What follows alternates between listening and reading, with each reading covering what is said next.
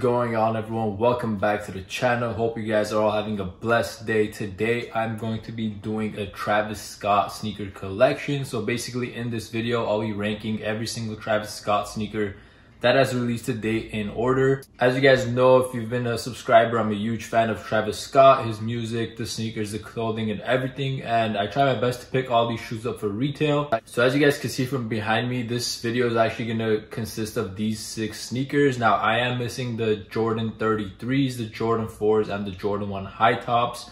But as I go through the list, I will be integrating those into my ranking as well. This list is basically just based on sneakers that I like most and overall would wear. Starting with my least favorite out of the entire collection, it is definitely the Jordan 33 in that olive green colorway that I mentioned I do not have. Personally, I'm not a big fan of the Jordan 33 silhouette and it's just not something I'd want in my sneaker collection. So by far, that is my least favorite of the entire pack. And with that said, let's get into my least favorite from the ones that I actually do have. So getting right into it, my least favorite Travis Scott sneaker in my collection has to be these Travis Scott Air Max 270s. Now this is the most recent drop from Travis Scott. Honestly though, I have to admit the comfort on these is really, really good. So if you guys just want a sneaker to, you know, wear all the time, this is definitely the choice. It's also one of the cheaper models right now for sure. They're going for about, you know, 400 to a little bit over $500 depending on the size. So if you do want to pick one up, this would probably be a good choice just because it's really comfortable and the price point, although it is really high, it's a lot less than the other ones on this list. So yeah, this is a really nice sneaker nonetheless. It's definitely very innovative. Now you do get that stencil pack where you could put a reverse swoosh on it. That's definitely gonna make the sneaker look a lot nicer. As you guys know, this uses the Nike React technology with the Air Max 270 model. Overall, I have to say the materials on this are really impressive. He does use a nice array of different materials. Um, this part right here is actually really, really soft. I don't know if many of you guys have seen that, but that is really soft. And then the most surprising thing about the sneaker for me is the midsole area is actually really, really soft as well. Now from the pictures, definitely because of the colorway, it looks like it's gonna be really stiff, but it is not. And as I mentioned, they are a really comfortable pair of sneakers. You do get the Cactus Jack logos all throughout the sneaker as well. So yeah, definitely not a bad shoe, just not really my style. I know a lot of people might really be into this and you know, I can't blame you. It is a nice sneaker and definitely a very eye-catching colorway. However, this has to be the bottom of the list on my Travis Scott sneakers. Once again, that is a Travis Scott Air Max 270. Alright guys, next up on the list, again, we're ranking these from least favorite to most favorite. So next up on the list is going to be the Air Force One in the Cactus Jack slash Fossil colorway. Now, this sneaker, honestly, when it released, I didn't really like it too much. But honestly, whenever I saw it in hand, definitely the details on it are really impressive. And I don't really like the zipper part. So once I do wear it, I am going to take this part out. I think without the zipper, it's actually a really, really nice sneaker. Definitely a staple in the collection because of the Cactus Jack logos all throughout it. Of course, you have like the Cactus Jack label logos all throughout the sneaker. Nice mixture of materials and different colorways on it. I really love that camo swoosh right there. Of course, you have the nice suede on the back. And just the color contrast all throughout the sneaker is really nice. And then you get a lot of details on these that you don't really see on too many Air Forces. And of course, the gum bottom with the sail outsole, really, really nice combination right there. The quality on these is really good. The only problem I have with the sneaker is that it is kind of hard to rock in my opinion. Of course, if you wear it with toned down colorways, it'll really make the sneaker pop. But overall, it's not a bad sneaker. The use of materials on it is once again really impressive. One thing with the Travis Scott line is they really don't cheap out on the different materials they put on it. I feel like they put a lot of thought and a lot of effort to really making all the different things on the sneaker work. And you do get some extra laces with it, which isn't bad. And if you are a fan of the zipper, that's definitely a very innovative design in my opinion. Once again, this Cactus Jack Travis Scott Air Force One is the second to least favorite on my list. This is one of those sneakers I think is really gonna go up in price in about another year. It is definitely a collector's piece, especially if you're a Travis Scott fan. But anyways, this is a Travis Scott Air Force One Cactus Jack Fossil. I'm getting into the third sneaker on my list. We're gonna have another Air Force One in the Travis Scott Air Force One in the sail colorway. As you guys know, this actually released in a white colorway as well, but I don't have that. They're just really, really similar to me. So I'm just to rank them together. Even if I had the white one, it would be ranked basically equal to this. I actually like the sail colorway just a little bit more because I think it just goes better with outfits in my opinion. And, and whenever it gets dirty, it's not going to look as dirty as an all white sneaker. They look really, really plain, but you do get a bunch of different swooshes where you could replace this metallic one with. And I think that really made people, you know, fall in love with the sneaker. It's a really simplistic colorway. Again, we do get the Cactus Jack logos speckled in throughout the sneaker. We have the reverse Nike swoosh on the back.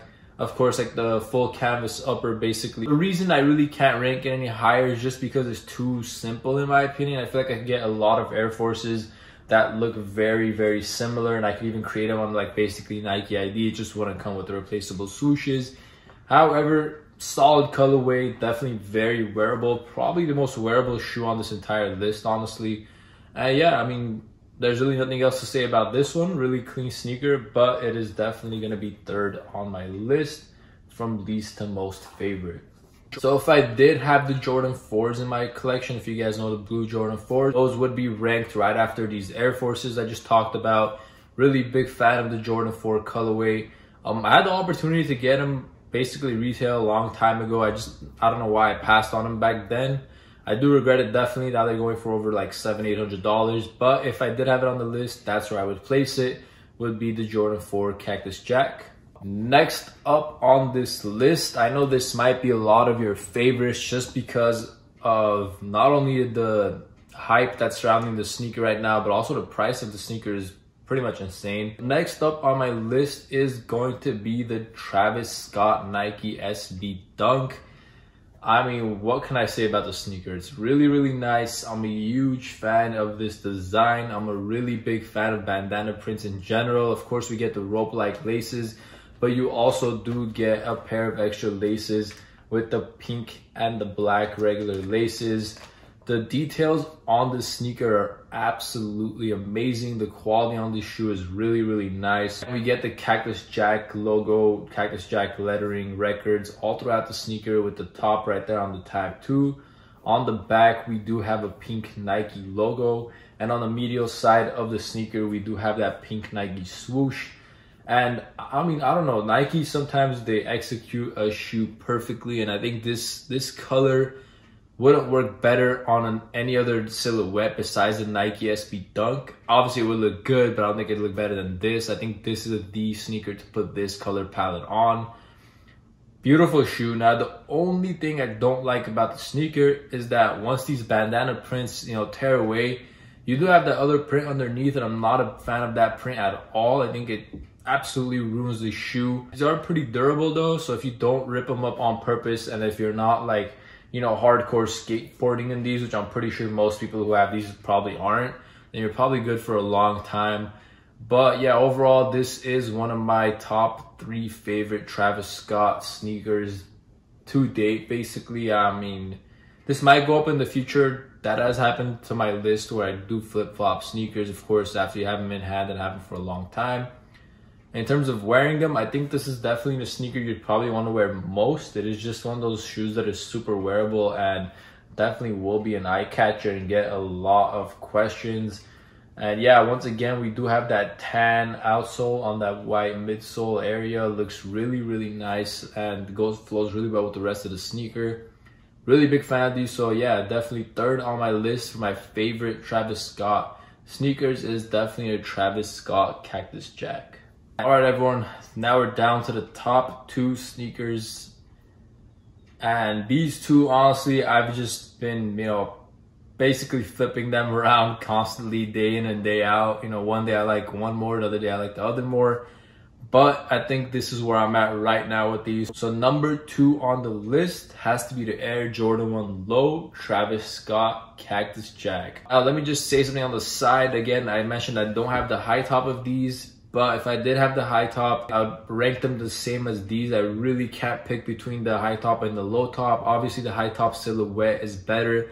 But in my opinion, the low top colorway is actually better. The black and the mocha colorway, I think it just flows better on this than the white and mocha.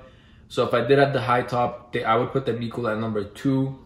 But let's talk about this since I have. We have that infamous reverse swoosh on these Jordan 1s. Now, it's just incredible to me that people don't like Jordan 1s in general, but these are reselling for a crazy amount of money right now. It just goes to show how nice the sneaker is and how crazy the Travis Scott hype is.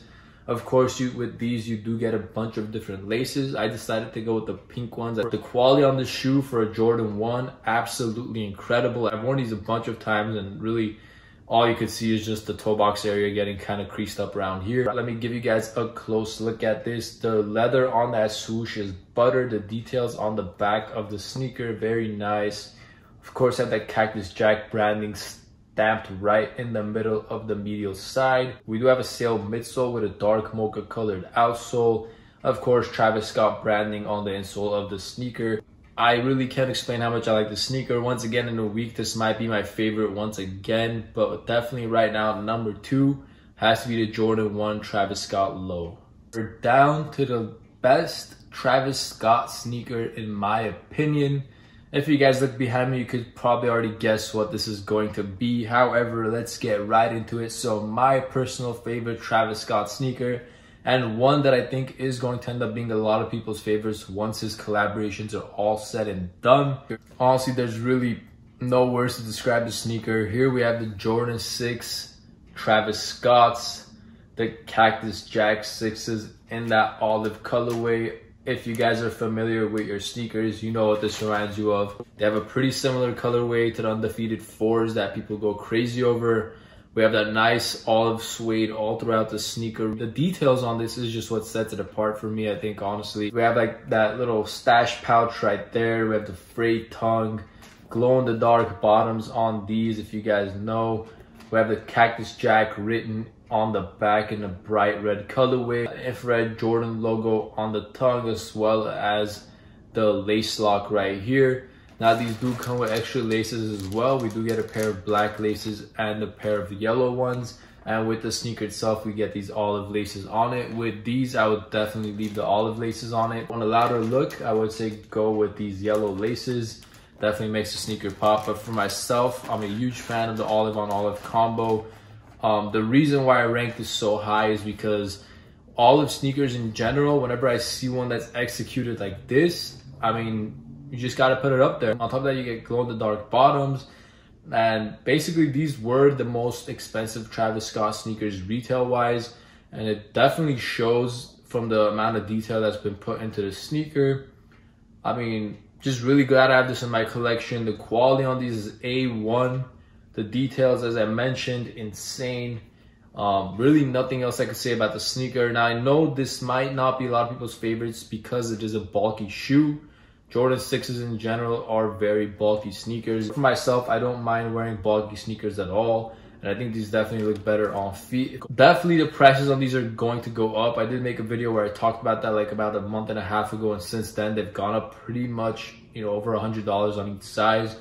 These did start off over a thousand. I definitely see them going back to a thousand within a year yeah, if you guys want these, definitely, definitely, definitely pick these up. I can't express that enough, especially right now. Personally, even though they're really expensive, I think they are going for the low right now compared to what they will be going for in the future.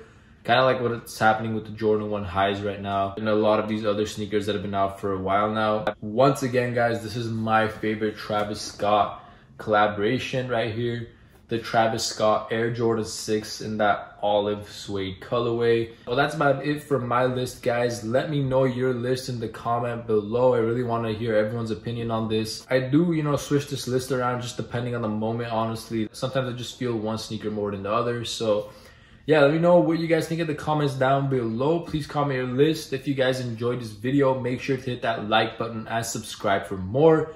Hope you guys have a great day and thank you for watching.